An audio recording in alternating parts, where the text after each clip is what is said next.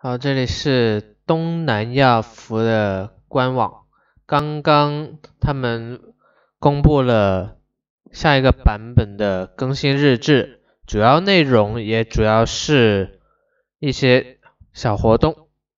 那么他们从下一个版本开始会引进他们上半年在国际服开放过的一些小游戏。这个小游戏其实还有积分的，然后这积分它也是可以兑换一些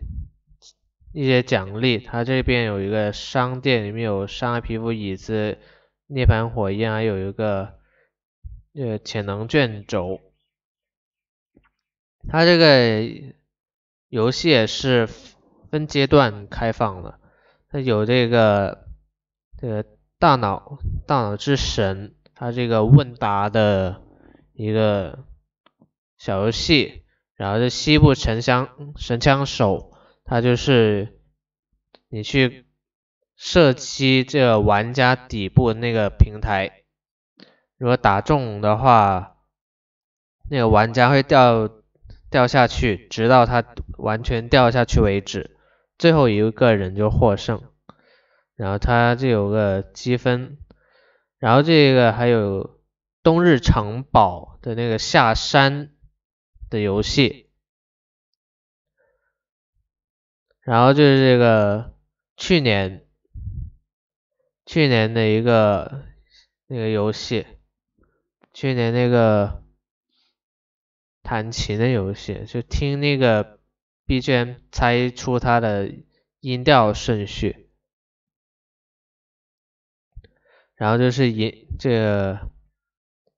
找茬，找茬也是去年的活动。这个找茬其实在 With Compare 是可以找到答案的，而且它的位置是固定的，但是它出现的数量可能不是固定的。它出现的那个位置，这个答案的那三个。不是固定，但是它正确答案一共有七个，然后就是冬日城堡的三十三十人的那个投子的游戏，还有一个就是 Maple Music Festival 就音乐节的那个活动，音乐节就是躲避他那些。那些音障还有那火焰，它那个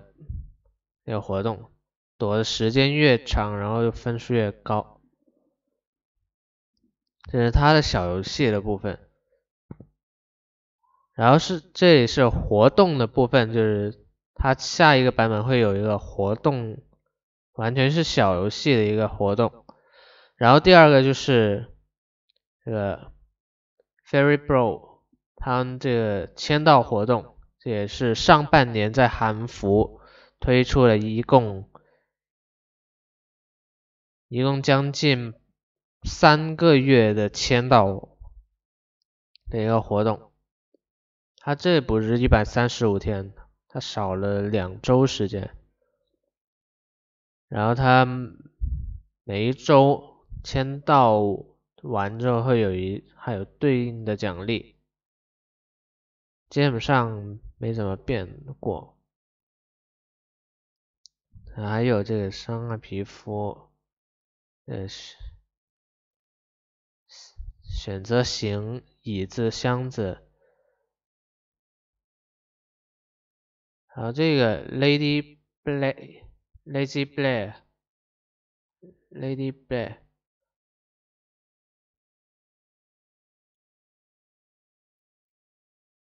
它是可以选择同一世界的转移的功能啊。Players can freely transfer their cash item between different characters or factions within the same world。它是可以转移的。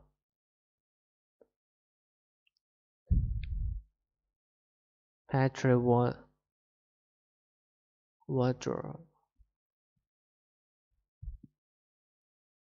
这是个活动啊。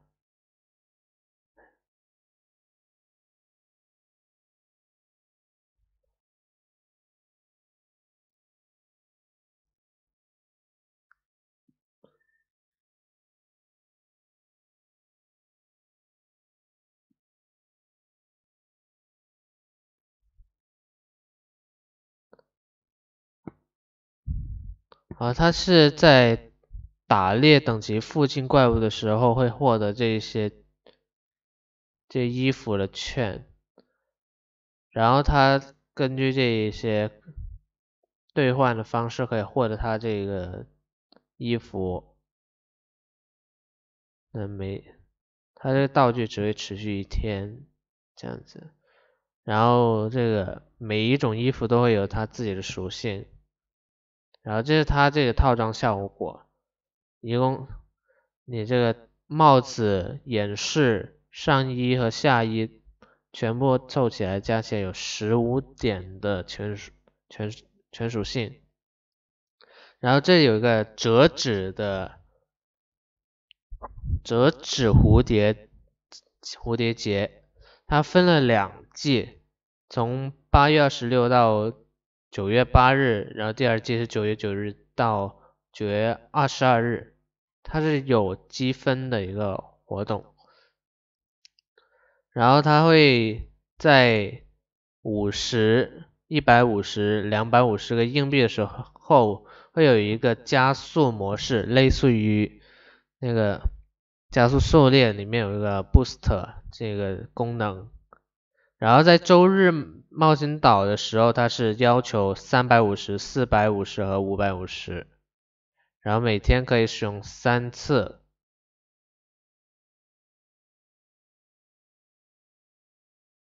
然后它是使用二十次的时候，就会有一个称号，它是攻击力魔力二十点，全属性五十点，然后。boss 攻击力百分之三十，然后无视防御力百分之三十，然后最大 HPMP 有两千，然后它是有一个硬币商店，因为你有，因为你要集齐这积分，它这里一共有四个选项，然后它告诉你这个特殊选项里面里面可以购买极限成长密钥，然后。未知神秘徽章的箱子，有未知核心宝石箱子，然后有未知倾向成长密钥箱子，核心宝石选择性神秘徽章倾向成长密钥，特殊荣誉勋章，还有混沌还原器。然后它这里还有一些点装那个披风，这是它的效果，它一个效果蝴蝶效果。然后他还可以买这个探险漆黑暴暴击暴击戒指，还有四十格背包。他这个极限成长密钥是不不可以在账号内转移的，也就是你买了之后只能给自己用。然后这是他这个折纸的一个道具。他说黄色的话给三十点，蓝色五十点，红色七十点，白色九十点。然后根据这个季，那第一季还是第二季的时候，它这个获得方式会不一样。然后有三种基本模式，一个是使用符文，它会召唤这种蝴蝶，它到处飞的一种蝴蝶。然后是打猎等级附近的怪物，然后它是打猎怪物的时候，它是随机掉落这四种折纸的其中一种，然后就是打猎这个加速模式请那些怪物，它也是会掉落四种四种折纸，然后在第一季的时候，在第一季的时候是通过联机联机球。可以获得这折纸，它是可以通过连击球获得折纸。就连击球的时候会掉十个折纸，然后根据这个连击的次数，这个类型也会有所不同。在第二季的时候，第二季的时候是根据连连续击杀，可以通过连续击杀获得额外的这个折纸，然后这个连续击杀的数量越多。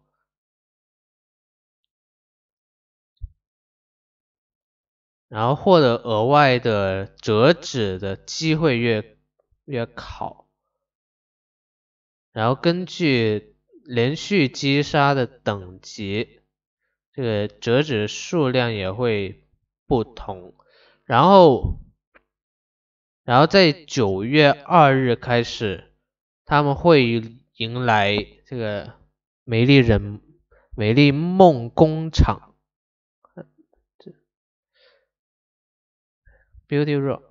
它第三季之前在六月份国服和台服已经出过了。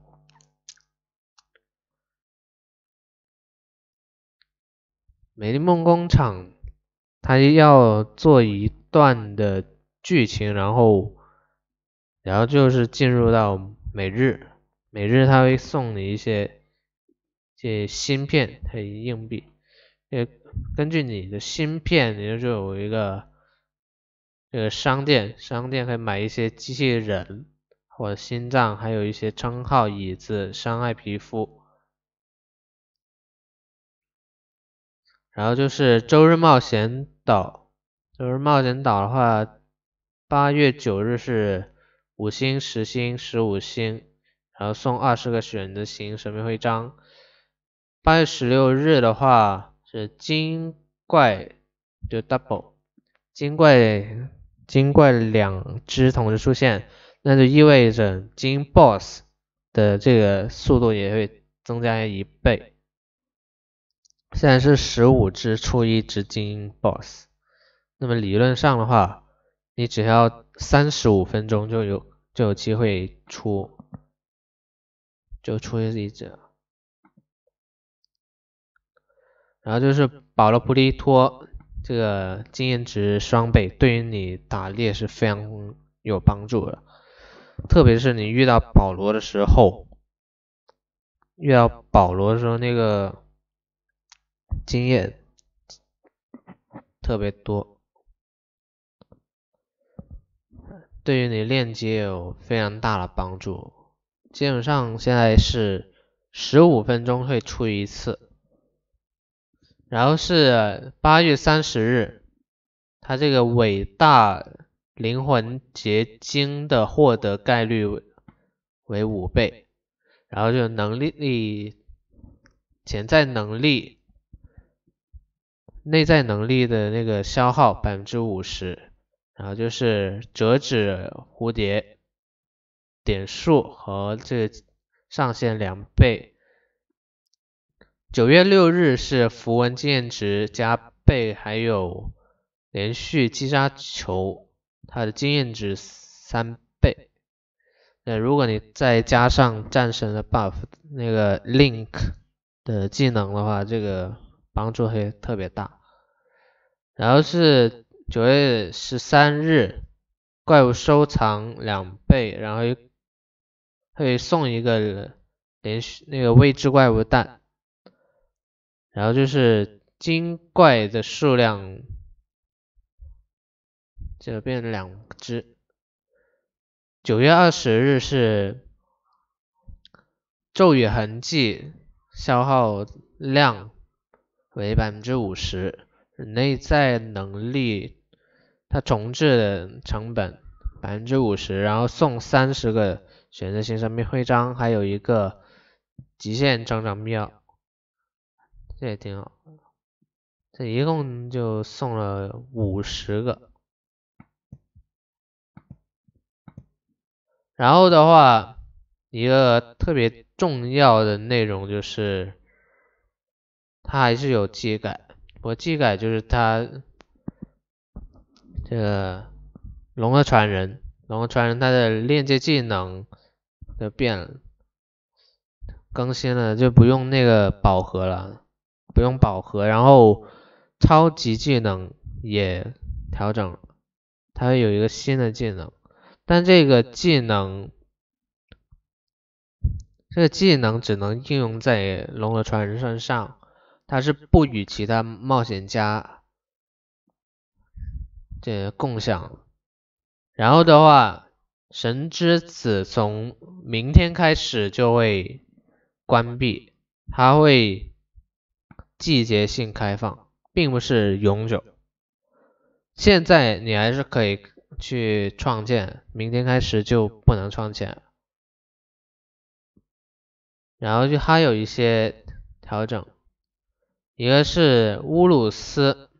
它的双倍金。双倍金币的时间调整为晚上八点到十点，然后它这个成就 Mobius Level Up，它的它这个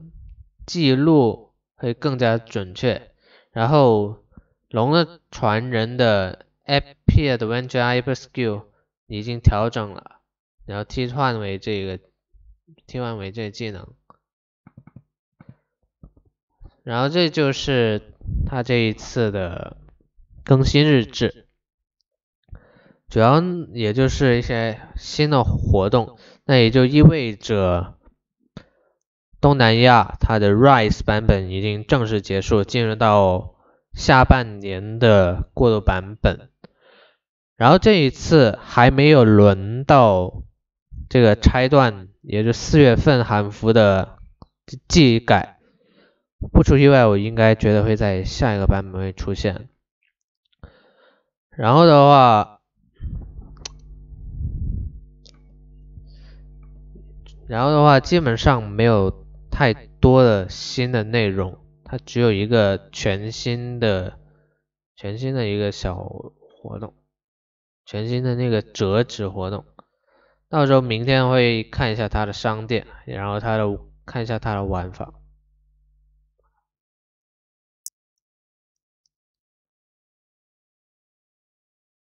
啊，八月二十六日，那就从微信看看吧。那这个更新日志先看到这里。